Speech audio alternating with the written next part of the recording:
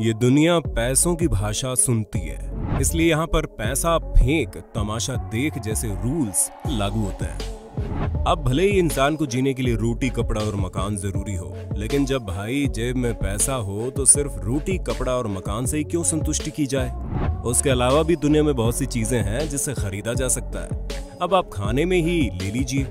आप भले ही दो रोटी से संतुष्ट हो जाते हैं, लेकिन अमीरों के साथ ऐसा कुछ भी नहीं है। और उन्हें खाना तब तक अच्छा नहीं लगता जब तक उसे खरीदने में उनकी जेब ढीली ना हो जाए। और इसलिए आज हम आपको कुछ ऐसे ही फ़ूड आइटम्स के बारे में बताने वाले हैं, जिन्हें सिर्फ़ और सिर्फ़ अमीर ही खरीद सकते हैं। तो दोस्तों, इस वीडियो को तो आपको पूरा देखना ही पड़ेगा, क्योंकि इंसान को पता होना चाहिए कि इस दुनिया में ऐसी कौन सी चीज़ें हैं जिन्हें खाने के लिए उसकी साल भर की इनकम भी कम है। तो चलिए शुरू करते हैं।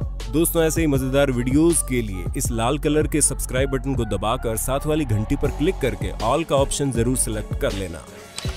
कॉफिन बेकिंग ऑयस्टर्स अब बात अगर ऑयस्टर्स की आती है तो ये बात हम बखूबी जानते हैं कि इसे भारी मात्रा में लोग खाना पसंद करते हैं। इसलिए सी फ़ूड के टेस्ट के साथ साथ इसे खाने वाले की रईसी भी साफ़ झलकती है। अरे भाई, जिस भी एनिमल से मोती निकलता है। अरे भाई, जिस सी एनिमल से मोती निकलता है, अगर उसी को लोग खाएँगे तो ज़ाहिर सी बात है कि उनकी वाहवाही तो होगी ही। लेकिन हम आपको बता दें कि यू तो ऑयस्टर्स की कई सारी प्रजातियाँ मौजूद है। लेकिन वो कहते हैं ना कि राजा एक ही होता है और इस सी फ़ूड की एक प्रजाति भी कुछ ऐसी है, जिसका नाम कॉफिन बेकिंग ओस्टर है और ये ऑस्ट्रेलिया के पेनिनसुला में मौजूद एक फार्म से आते हैं।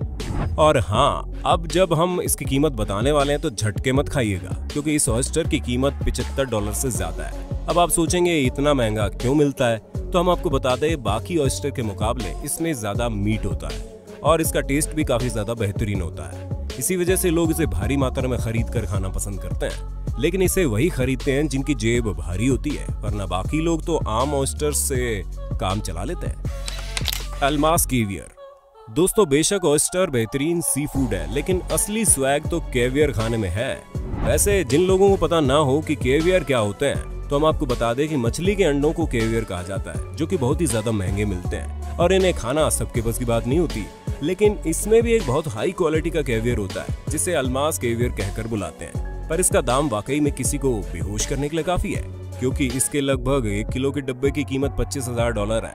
अब ज़ाहिर सी बात है, इसका डब्बा पूरी तरह से 24 कैरेट गोल्ड से बना हुआ है। तो कैवियर के साथ इसकी कीमत तो आपसे वसूली ही जाएगी।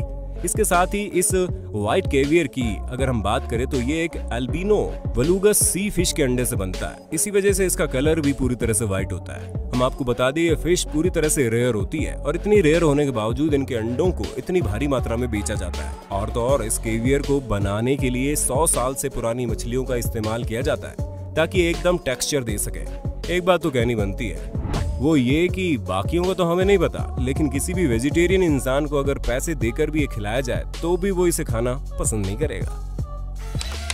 बर्ड्स नेस्ट सूप अच्छा दोस्तों, क्या कभी आपने किसी पेड़ के ऊपर चढ़कर उसमें से चिड़िया के घोंसले को उठाकर घर ले गए हो और उसका सूप बनाकर पिया है? हमें पता आप यही सोच रहे होंगे कि हम ऐसे उठपटांग सवाल क्यों पूछ रहे हैं? तो दोस्तों, हम आपको बता दें कि आपके लिए ये चीज़ उठपटांग हो सकती है, लेकिन चाइना के लोग इसे बड़े चाव से पीते हैं और इसकी कीमत ढाई हज़ार से लेकर दस हज़ार डॉलर प्रति किलो की दर से है। और हाँ अब ये समझने की भूल बिल्कुल मत करिएगा कि घास फूस और बाकी चीज़ों से बने घोंसले का सूप इतना महँगा क्यों मिलता है? क्योंकि हम आपको बता दें कि स्विफ्ट लाइट नाम की चिड़िया अपना घोंसला अपने सलाइवा यानी थूक से बनाती है। यानी कि पूरा घोंसला अपने थूक से तैयार करती है और इसी घोंसले से ये सूप बनकर तैयार होता है। दोस्तों, जब इसके घोंसले को पानी में उबाला जाता है तो वो जेली की तरह हो जाता है। वो भी खाने में बहुत ही टेस्टी लगता है, जो कि खाने में बड़ा टेस्टी लगता है और इस सूप को पीने के लिए लोग ऊँचे ऊँचे पहाड़ों पर चढ़कर चिड़िया के घोंसले को उतारते हैं और फिर घोंसले से एक एक करके चिड़िया के बच्चों के बाल निकालते हैं। जिसमें काफ़ी लंबा समय जाता है और इसी वजह से ये सूप इतना ज़्यादा महँगा मिलता है। अयम सिनामी ब्लैक चिकन बेशक आप लोगों ने बहुत से तरह के चिकन खाए होंगे, लेकिन जिसके बारे में हम आपको बताने वाले हैं, उसकी तो बात ही अलग है, क्योंकि इंडोनेशिया में मिलने वाला अयम सिनेमी ब्लैक चिकन बिल्कुल अलग है, जिसे खाते वक्त आपकी प्लेट में ब्लैक कलर के अलावा कुछ नहीं दिखाई देगा, क्योंकि इस चिकन का सिर्फ़ ऊपरी कलर ही ब्लैक नहीं है, बल्कि अंदर से भी पूरी तरह से ब्लैक है। यानी कि इसके अंदर इंटरनल पार्ट्स और ऑर्गन पूरी तरह से ब्लैक है। इसी वजह से मार्केट में इसकी वैल्यू बहुत ज़्यादा है। हालाँकि इसकी वैल्यू ज़्यादा होने का एक और कारण भी है। वो ये कि इसका टेस्ट क्योंकि ये नॉर्मल चिकन से बहुत ही ज़्यादा बेहतरीन लगता है, जिसे खाने के लिए लोग अच्छी खासी रकम देने को तैयार है। उसी के साथ ही इसे खाने से कई सारे फ़ायदे भी होते हैं, क्योंकि ये इम्यूनिटी सिस्टम के साथ साथ तरह तरह के प्रोटीन और वाइटामिन से मिलकर बना हुआ है। और इसी वजह से एक बड़े चिकन की कीमत 2000 डॉलर और एक छोटे न्यूबॉर्न बेबी की कीमत 200 डॉलर होती है, जो कि आम चिकन से कई गुना ज़्यादा महँगा है, लेकिन फिर भी लोग इसे भारी मात्रा में खाना पसंद करते हैं। Kobe beef. दोस्तों, यूँ तो गाय का मीट खाना हर तरह से गलत है, लेकिन हमारे देश में भले ही गाय को माता समझकर उसका मीट नहीं खाया जाता, लेकिन बाहर के देशों में तो लोग भारी मात्रा में ऐसा करते हैं। अब जैसे कि आप जापान में मिलने वाली ताजिमा ग्यू गाय के मीट को देख लीजिए। ये एक जैपनीज ब्रीड है। जिसके मीट का टेस्ट आपको किसी भी दूसरे मीट से दस हज़ार गुना ज़्यादा बेहतर लगेगा। और इसके फ़ायदे भी बहुत हैं, जिसकी सबसे बड़ी वजह यह है कि इन गायों को बिल्कुल लग्जीरियस लाइफस्टाइल मिलती है, जहाँ पर रोज इनका मसाज किया जाता है और इन्हें म्यूज़िक सुनाया जाता है। उसके साथ ही इनको बेहतरीन खाना भी खिलाया जाता है। तभी तो इनका मीट इतना ज़्यादा शानदार होता है कि लोग इन्हें खाने के लिए भारी रकम चुकाने से पीछे नहीं हटते। लेकिन इन्हें पाना इतना आसान नहीं है। क्योंकि इनके पीछे कई सारी कंट्रोवर्सी हो चुकी है, जिस कारण जिन रेस्टोरेंट में ये मीट बेचे जाते हैं, वहाँ पर स्पेशल लाइसेंस की ज़रूरत होती है। तभी इस मीट को बेचने की इजाज़त मिलती है। और उसी के साथ ही इसके अंदर मौजूद फैट से इसको एक से बारह में रेट किया जाता है, जिसकी कीमत भी उसी हिसाब से होती है। वहीं अगर हम इसकी कीमत की बात करें तो ये मीट एक किलो 660 डॉलर में मिलता है, जो कि नॉर्मल मीट से बहुत ज़्यादा महँगा है। ला बोनेटे पोटैटोस अब आलू जैसी चीज़ तो बिल्कुल नॉर्मल है, जिसे गरीब से गरीब इंसान भी खा ही लेता है, क्योंकि इजीली अवेलेबल है और बहुत सस्ते दामों में मिल जाते हैं। लेकिन ला बोनेटो पोटैटो के साथ ऐसा कुछ भी नहीं होता। और इन्हें ला बोनेटो के अलावा दुनिया के सबसे महँगे आलू भी कहते हैं। ये इतने महँगे होते हैं कि इन्हें आलू की दुनिया का कैवियार भी कहा जाता है।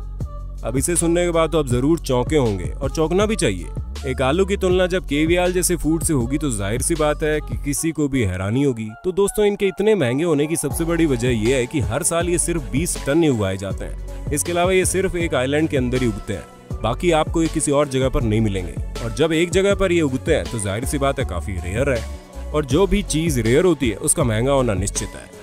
और तो और इनकी हार्वेस्टिंग में किसी भी मशीन की ज़रूरत नहीं होती, बल्कि सारा काम वर्कर्स अपने हाथों से करते हैं। वहीं अगर हम इसकी कीमत की बात करें तो दोस्तों 300 डॉलर प्रति पाउंड की दर से बिकता है, जिसका मतलब है एक किलो की कीमत 660 डॉलर के लगभग है, जो कि आम आलू से सैकड़ों गुना महँगा है।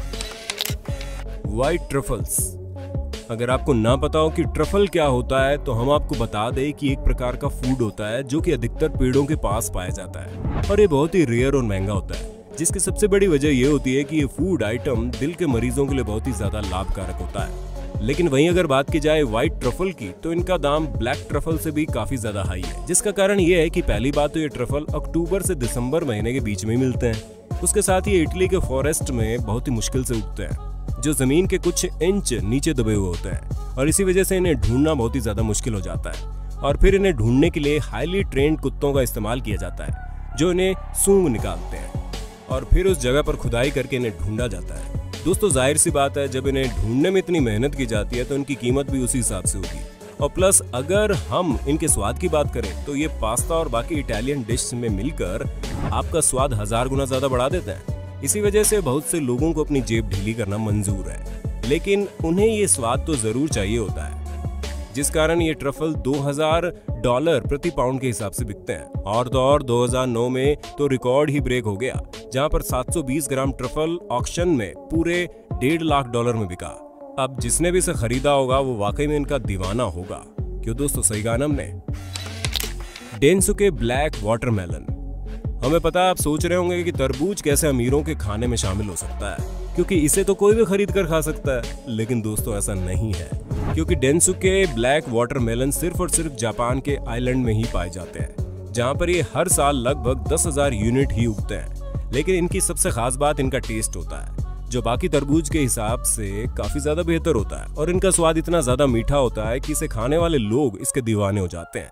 इसी वजह से एक तो ये महँगा होता है, ऊपर से इसका स्वाद इतना अच्छा होता है, जिस कारण जापान में कई लोग इसे गिफ्ट के तौर पर भी खरीदते हैं। और अगर हम इसकी कीमत की बात करें तो एक नॉर्मल डेंसुके वाटरमेलन आपको 225 डॉलर प्रति यूनिट के हिसाब से मिल जाएगा। लेकिन सन 2008 में ऑप्शन में इकसठ डॉलर में एक तरबूज बेचा गया, जिसे देखकर तो ऐसा लगता है कि खरीदने वाला डेंसुके वाटरमेलन का बहुत बड़ा लवर होगा। कोपी लुआ कॉफ़ी।